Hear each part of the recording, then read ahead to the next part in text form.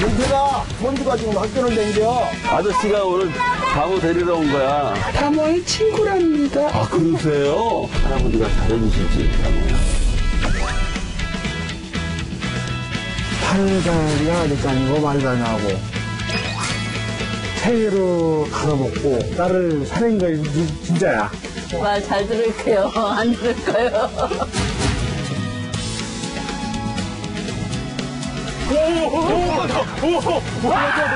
30마리로 30억이요.